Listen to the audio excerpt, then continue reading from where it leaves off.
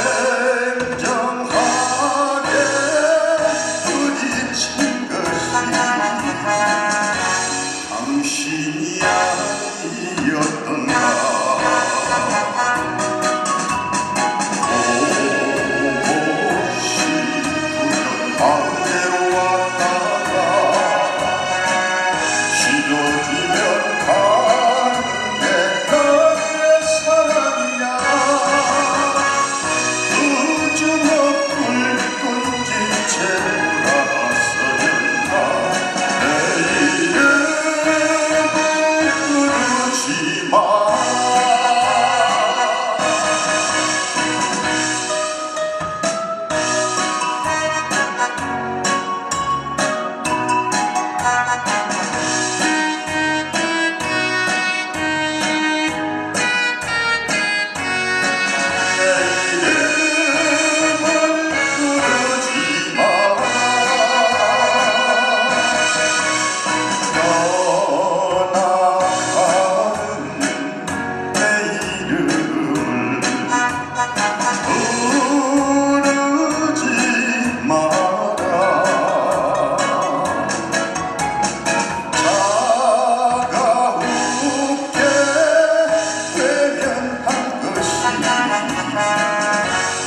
당신이 아니었던가?